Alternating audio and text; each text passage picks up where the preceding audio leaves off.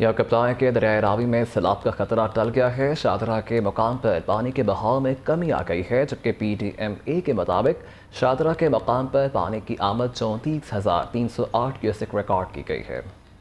भारत में शदीद तबाही मचाने वाले दरियाए रावी से पाकिस्तान में सैलाब का खतरा टल गया। दरिया में पानी की सतह मामूल पर आना शुरू हो गई। शादरा के मकाम पर पानी के बहाव में नुमाया कमी आ गई। तर्जुमान पीटीएमए के मुताबिक खुशकिस्मती से सरहद के इस पार रावी में सैलाब का खतरा टल गया है और बेशतर मकाम पर दरिया मामूल के मुताबिक बह रहा है। शादरा के मकाम पर पानी की आमद चौंतीस हज़ार तीन सौ आठ और अखराज चौंतीस हज़ार तीन सौ आठ क्यूसिक रिकॉर्ड किया जा रहा है। D G P D M A Imran Qureshi का कहना है की तमाम दरियाओं, ब्रिजेस डैम्स और नाला जात में पानी के बहाव की मुसलसल निगरानी की जा रही है। पीडीएम में कंट्रोल रूम से तमाम तर सूरत हाल की मॉनिटरिंग भी जारी है। सैलाबी सूरत हाल के पेश नज़र दरियाओं के तरफ़ दफ़ा एक सौ चवालीस नाफिज है। शहरी दरियाओं, नदी नालों में नहाने और सैर तफरी से गुरेज करें।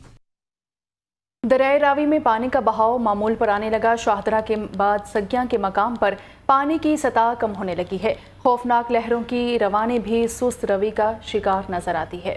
हमारे नुमाइंदे एम ए फरीद इस वक्त सगिया के मकाम पर ही मौजूद हैं। तफसीत उनसे जानते हैं। जी, एम ए फरीद बताइएगा हाँ जी, बिल्कुल, अभी की ताज़ा तरीन जो जो सूरत हाल है दरिया रावी में पानी के उस हवाले से आपको आगाह करता चलूँ कि दिन भर भी जो है वो पानी की सतह में जो है वो कमी देखने में आई अगर बात करें शाम से लेके अभी रात तक की तो अभी भी जो है वो पानी की सतह मुसलसल जो है वो कम होती हुई नज़र आ रही है। अगर कैमरा मैन कासिम जो है वो फोकस करके दिखा सके तो शाम के वक्त जो ये एरिया जहाँ पर अभी बिल्कुल यहाँ पर पानी से वो खाली नज़र आएगा, वो और शाम के वक्त जो है वो किनारों से तीन तीन, चार चार फुट जो हिस्सा था, वो पानी से खाली नज़र आ रहा था। लेकिन अभी वो तकरीबन किनारों के करीब से तकरीबन आठ से दस फुट का जो एरिया है, वो पानी से खाली नज़र आ रहा है जिससे अंदाज़ा लगाया जा सकता है कि पानी की सतह जो है, वो मुसलसल अभी भी कम हो रही है। और दूसरी जानब से पी डी एम ए की जानब से जो कहा जा रहा है कि इस वक्त जो है चौंतीस हज़ार तीन सौ आठ हज़ार क्यूसिक का जो रेला है, वो दरिया रावी में उसकी आमद और अखराज का बताया जा रहा है। लेकिन यहाँ पर ऐसा लग रहा है कि उसकी जो सतह है, वो मुसलसल जो है, वो मकदार भी कम होती हुई नज़र आ रही है।